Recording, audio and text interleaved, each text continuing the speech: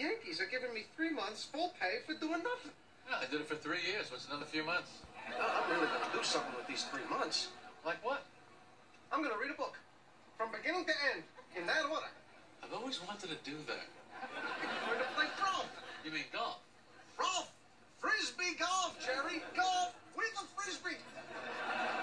This is going to be my time. Time to taste the fruits and let the juices drip down my chin. This the summer of George.